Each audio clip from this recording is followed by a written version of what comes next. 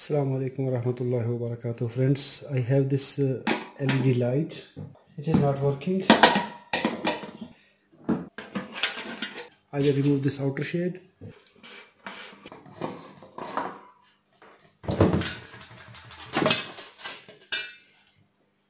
Now it is in this shape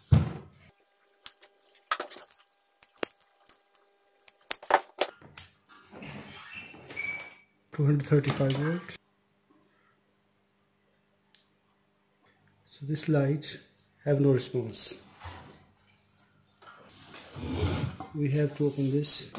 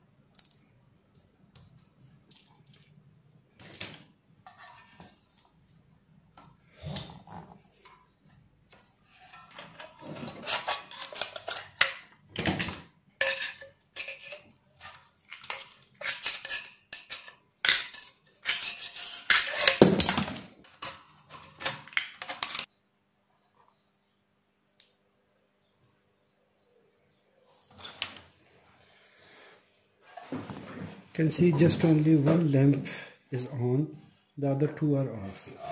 So we can check the lamp uh, LEDs are good or the problem in power supply set multimeter to DC voltage. So it is giving 45 volts so power supply is available. Here, here we have 45 volts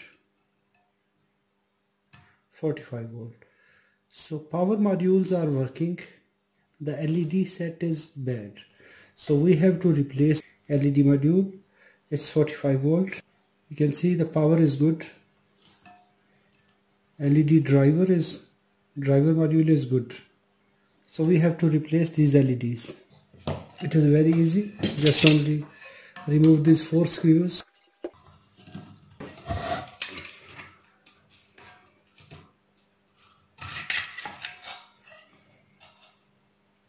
here is heatsink compound. Now we can remove this.